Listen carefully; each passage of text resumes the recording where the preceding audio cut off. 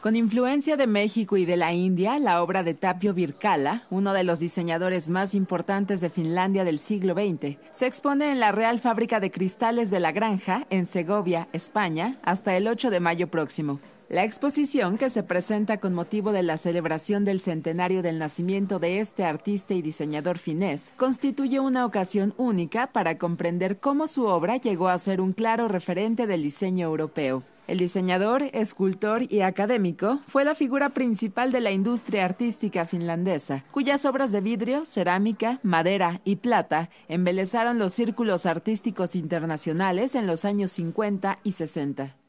Tapio Virkala es uno de los diseñadores más importantes de Finlandia del siglo XX.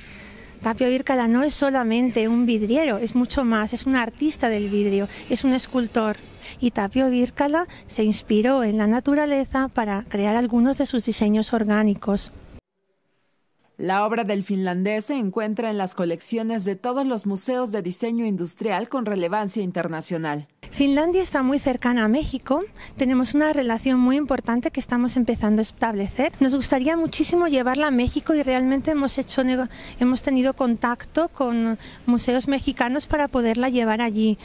Es una obra muy valiosa, no solo desde el punto de vista técnico, sino algunas son piezas únicas y aparte tenemos piezas de plata. México es muy bueno en plata, entonces seguramente podría apreciar el diseño finlandés en plata. Tapio Virkala murió en 1985, pero su obra sigue muy viva y de hecho la gente sigue comprando sus diseños en cristal. Con información e imágenes de Adela Maxuini, corresponsal en España. Notimex.